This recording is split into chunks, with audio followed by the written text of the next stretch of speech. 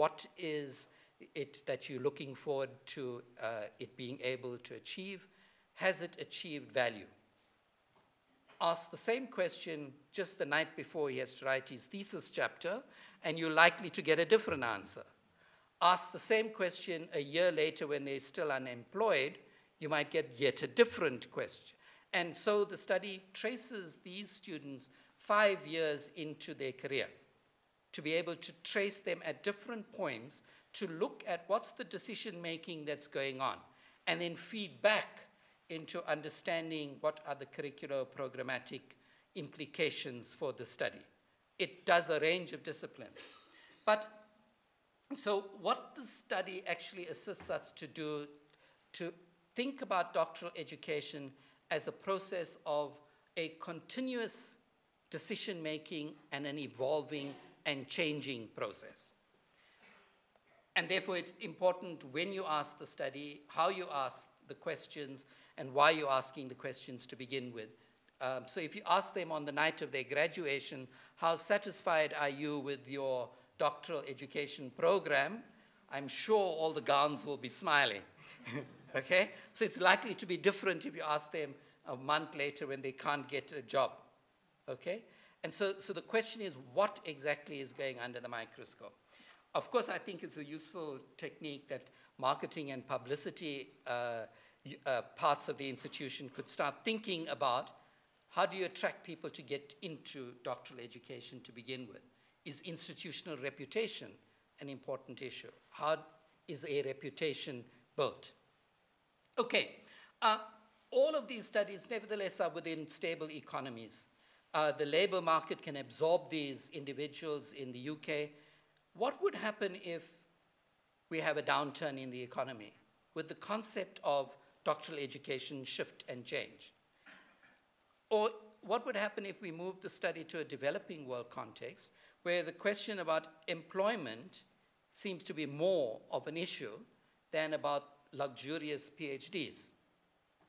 I don't believe they're luxurious, but uh, the issue is, should we be dealing with the masses of individuals who need employment or the individuals of doctoral education and how they're entering into the economy? And if we had a global downturn, would this mean that the whole study changes? And it's interesting, there are already studies being conducted in 2011 and 2012. The original studies in the Science Foundation largely in 2010 and earlier, we're already beginning to see that the value of the PhD is being rethought. So what exactly are we studying?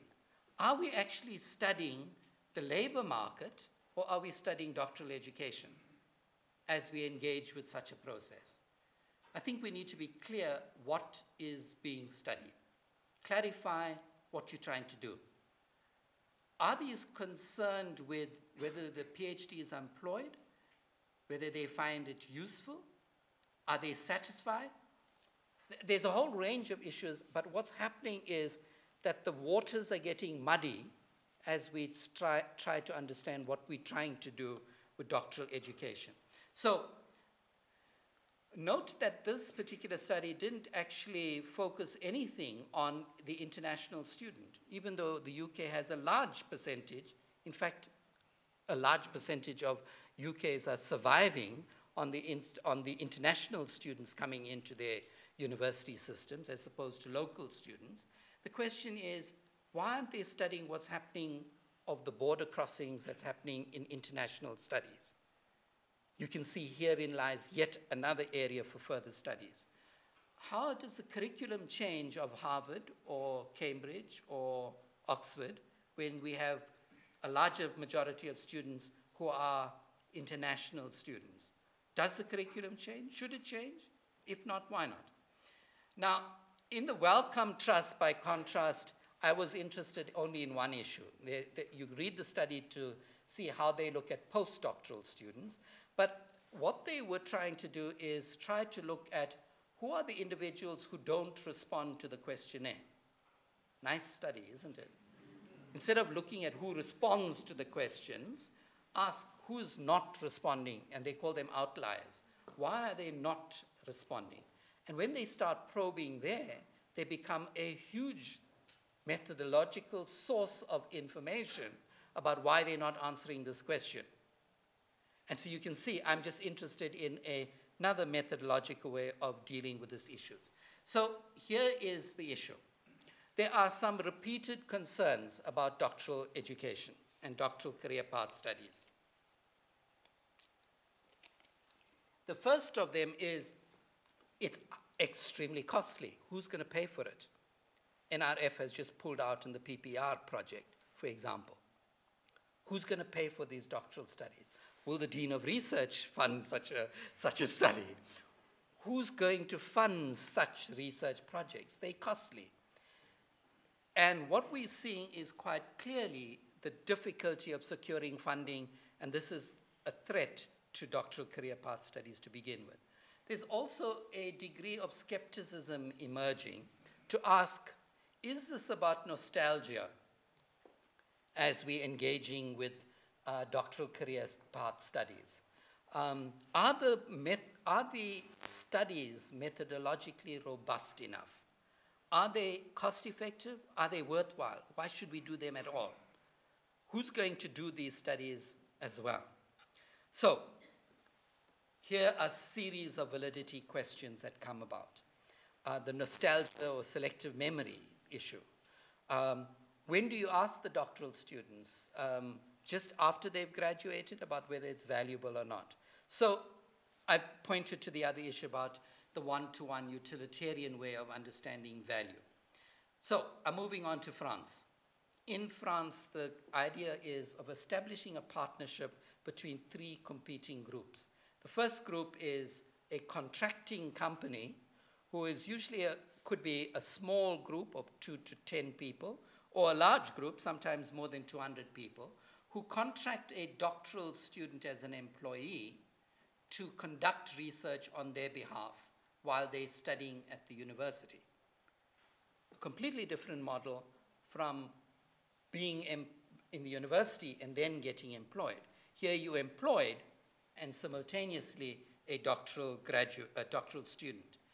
I thought it was only engineers and scientists who were involved, but what we look at when we look at the study it's humanities, arts, education, social sciences, political science, theology, the full range, who all establish what might be regarded as an on or off campus site, which is funded by the contracting company. And then that company engages with some kind of professional or academic pursuit, and it includes undergraduate and postgraduate studies, and they establish a laboratory. What this does is contract the doctoral student as an employee. So the most important function is that you first an employee, then a doctoral student. And you can see this immediately sets up a different kind of relationship in these particular studies. So herein lies my question. So what will drive the innovation or the development of these particular individuals? Will the economy drive the pursuit of the doctoral study? Or will the knowledge direct the, uh, the, the, nature of the study? Will higher education become merely a servant of the employees, uh, sorry, of the employers as we engage in such a study? Can higher education then step outside of their brief to carve a niche out of the role that has been set up already by the employing agency. So for example, if Mintek contracts you, can you step outside of Mintek's agenda to be able to study something that actually goes against its very principles of the organization? So what exactly is driving the doctoral education study to begin with? Here we have an issue about knowledge production being compromised. And yet, when I perhaps put up the slide, and the first, many people thought, well, maybe this is a wonderful model. In fact, most of the individuals end up having a very healthy cooperative relationship between these different um, uh, companies. But what is driving the research agenda is my question. So the findings actually show that we expect that most of these graduates will get employed, but in fact, only 54% of them do get employed in large companies, in the large percent of these students actually get a job within three months and 90% within six months. So if doctoral education is about employment, this is a wonderful model. And you can see we need to be then asking, what are we trying to do as we engage with doctoral studies? So let's step aside and let's look at what these studies have taught us. I think these studies have taught us something about the competing layers that they're all engaging with trying to understand what we mean by doctoral education. They all push and pull in many different directions. I won't spend too much time on this because I'll come back in my closing remarks about this. But the fundamental missing dimension in all of these studies is it's not examining power. It's not examining the hegemony that dominates in each of these studies a dominant discourse is perpetuating the conception of what doctoral education is. And those understandings of what the hallmarks of quality education are what is driving the higher education system to be thinking about doctoral education. So I'm suggesting that these agendas are being driven outside of education rather than within education. I'm also interested in how can we transport these studies constructed largely in a developed world context into a developing world context. Will the questions be different? And I'm seeing a new form of colonialism emerging, a kind of knowledge economy being exported like colonialism was exported to the colonies. We're having a new exportation of colonialism in a knowledge colonialism that's emerging in the nature of our studies. We may not be choosing appropriately the quality of our doctoral career path. So therefore, I'm suggesting, like Wolhuter is suggesting, let's talk about patterns of privilege and power that are present in our doctoral career path studies, in our doctoral education research. New questions need to be asked about hierarchy and privilege. And therefore, we must understand our own implicatedness in the kind of research agenda in a global society as we engage with this. So, I want to look at alternative metaphors. Should we be looking at doctoral education as a career path, a career track? Because it suggests that there's an endpoint where we all know where we're going. What if we looked at doctoral education as growing out of a particular context rooted in the realities of its specificities, and then allowing spaces for branches to grow in which others can come roost and nest. I can see if we're working with that metaphor, it's a completely different metaphor to say, let's talk about doctoral career paths. What if we looked at doctoral education as a process of being a gardener? right? The process of actually reconstructing according to seasonal varieties. Those seasonal varieties might be political, social, economic. If we thought about doctoral education in that metaphor, would we think in a different way of how to methodologically design the study? So I'm against this dominance of survey methodologies. We need to ask questions also about who's doing the research, how we're borrowing our methodologies, whose interests are being served by the methodologies used, and who are we writing for? Are we writing for policymakers? Are we writing our doctoral career path studies for funders, for employers? Who exactly is the target audience of our doctoral education? So, for me, doctoral education must be about social reconstruction.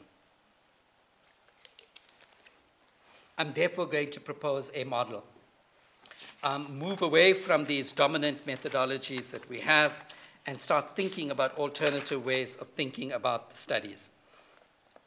Skipping some of these because you could read them uh, in the paper. I want to talk about the background of life history research that I'm drawing from, of trying to understand the biographical forces that individuals bring to bear when they engage with doctoral education. But is it a question that we destined by these particular backgrounds? Are we predetermined? If you were born in the Cape Flats, does that mean that you will remain there? Does that mean that your biography predisposes you to remain situated in your specificity? And I think that's problematic. So therefore, we, we should be moving to disrupting our biographies, a biographical kind of suicide, in which our institution has the possibility, through higher education, of offering a different future. That's what higher education is for, offering the possibility for being other, other than where you come from. Not just your background, but also to present your foreground. What do you want to move forward aspirationally? We also should be thinking then about how we design curriculums in a programmatic way. How do we design curricula in the taught curriculum, in the caught curriculum, in the learned curriculum? How do we work to move our curricula to provide different quality experiences for our doctoral graduates, our doctoral students? And therefore, I'm suggesting that needs to be mediated by the contextual forces that surround us macro contextual forces and the micro contextual forces. This particular model will allow us to understand our landscape better, to pre predispose us to a particular perspective, to be able to think about the intersection of these different forces, which in my doctoral study I called a force field model of teacher professional development, trying to understand the intersection of professional identity, identity being pushed and pulled in different directions by these force fields, by these different factors in a force field. So what I'm suggesting is that we could equally apply this intersection to understand the concept of what I'm referring to in this new model on doctoralness. Doctoralness is at the intersection of all of these forces. We are shaped and we will be shaped by our context. We shape it.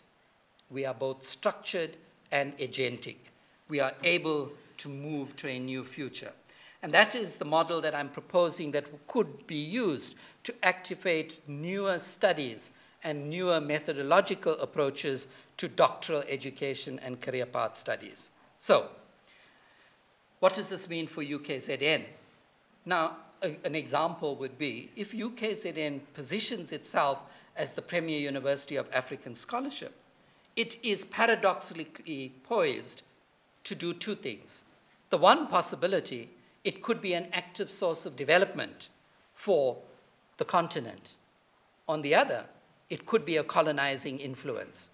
How are those two agendas being brought and understood in competition with each other, in dialogue with each other? And I, this is an example of the kinds of ways in which we could use this particular model to perpetuate new studies. I'm going to end with a, a, a concept from Amartya Sen um, on development as freedom and his views about a concept of freedoms and expanding freedoms and he's the Nobel uh, laureate on economics from India, who suggests to us that we need to be thinking about development as freedom. What quality of freedoms are we engendering? I would also like to draw on the Turkish philosopher Gulen, who Fethullah Gulen is a Turkish activist talking about a new philosophical approach to how we understand our purpose and function in education.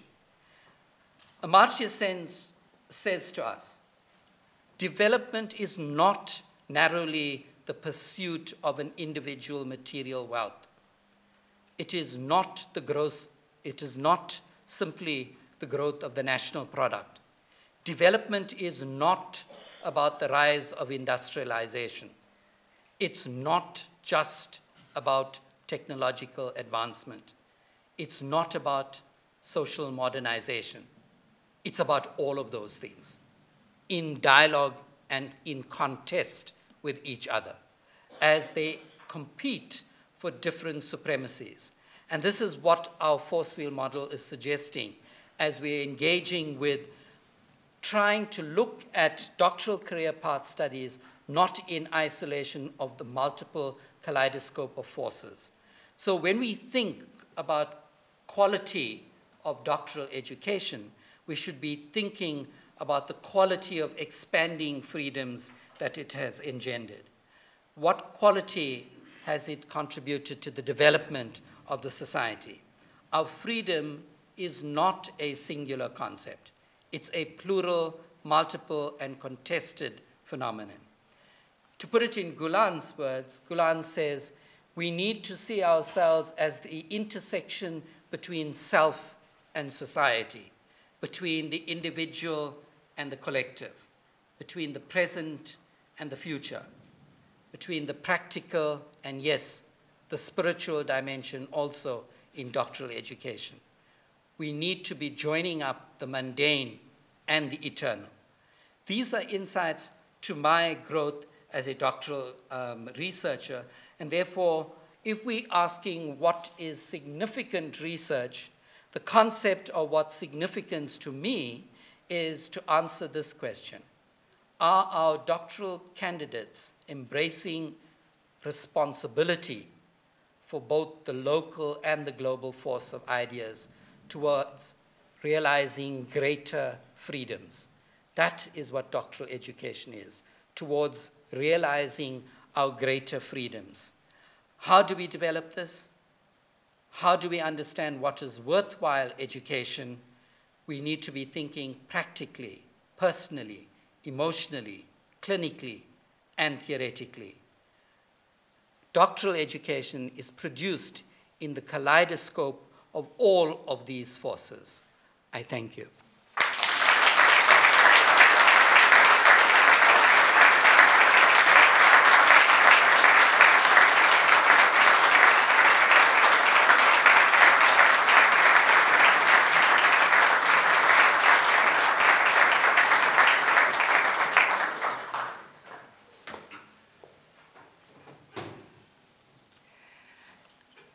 esteemed inaugurand, the Deputy Vice Chancellor of the College of Humanities, the Deputy Vice Chancellor of Teaching and Learning, the University Dean of Research, deans and heads of schools, um, colleagues and friends. It is my privilege to say a few words of thanks this evening, and of course the few words of thanks has to go first and foremost to our esteemed inaugurand, Professor Michael Samuel.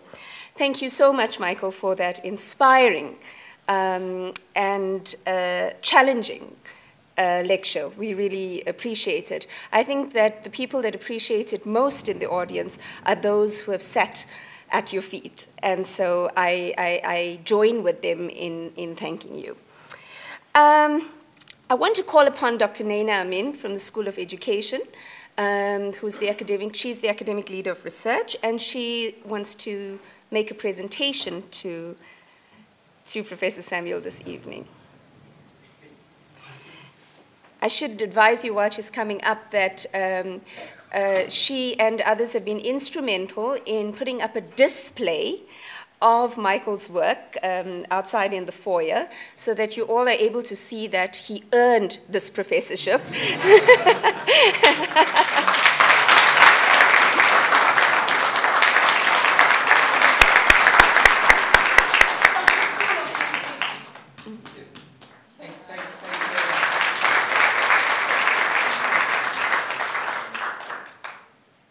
Secondly, I would like to place on record our thanks to the University uh, of KwaZulu-Natal for providing a space for Michael to develop um, and more so, not only for him to develop in his own career, but I think to develop the hundreds of students that have sat underneath him. I think it's very easy. Michael was talking about navel gazing when one is a professor to, to look within.